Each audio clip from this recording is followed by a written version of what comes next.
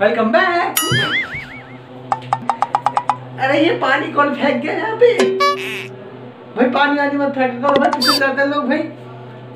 Welcome back पानी हटा यहाँ से पहले। सो so, दोस्तों स्वागत है आपका एक और इंटरेस्टिंग वीडियो में। तो दोस्तों अगर आप व्हाट्सएप यूज़ करते हैं और व्हाट्सएप चलाते हैं डेली बेसिस पर और आप व्हाट्सएप में चलाना चाहते हैं कुछ नया और करना चाहते हैं कुछ नया तो ये वीडियो है आपके लिए। देखिए इस वीडियो को पूरा पता चलेगा आपको और बताने वाला हूँ एक नई ट्रिक कि आप कैसे यूज़ कर सकते हैं अपने ही फेस के स्टिकर व्हाट्सएप में।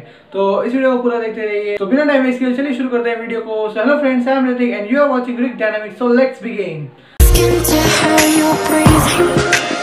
Cause I just wanna look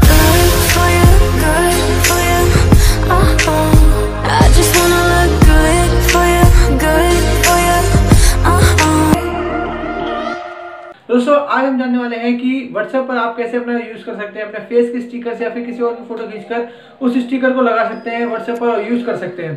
तो दोस्तों, सबसे पहले आपको करना क्या है कि आपको चाहिए किसी फ़ोटो का पीएनजी वर्जन यानी जिस आप जो बैकग्राउंड जो आप जो फ़ोटो यूज़ कर रहे हैं, उसके बैकग्राउंड में कुछ भी नहीं होना चाहिए।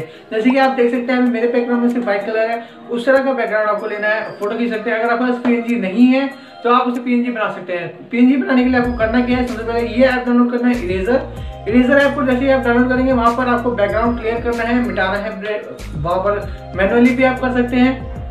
और अगर आप इजी होगा अगर आप पीछे मेरी तरह बैकग्राउंड में व्हाइट या फिर कोई और सिंगल कलर को यूज़ करें, वरना आपको ज़्यादा मेहनत करनी पड़ सकती है उसको मिटाने के लिए। इरेजर से आप उसको पीएनजी फॉर्मेट में कर लेंगे और सिर्फ़ आप अपने ह्यूमन ऑब्जेक्ट को रखेंगे और बैकग्राउंड को क्लियर कर देंगे इरेजर ऐप से।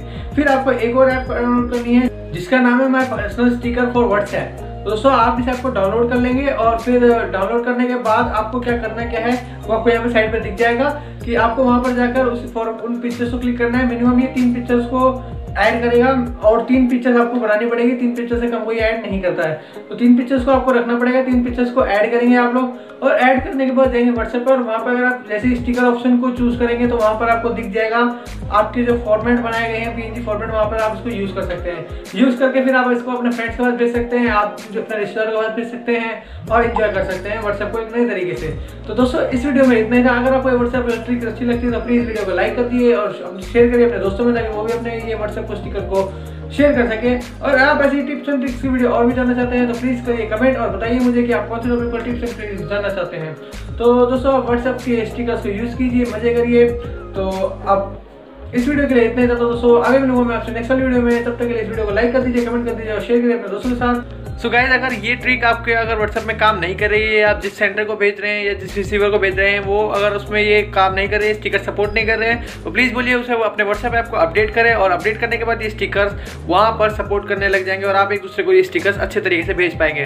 और दोस्तों, एक और बात जो मैंने दिवाली की में रखा था, मैं उसका रिज़ल्ट करने वाला हूँ आज शाम को नौ बजे अनाउंस लाइव इंस्टाग्राम और अपने फेसबुक पेज पर।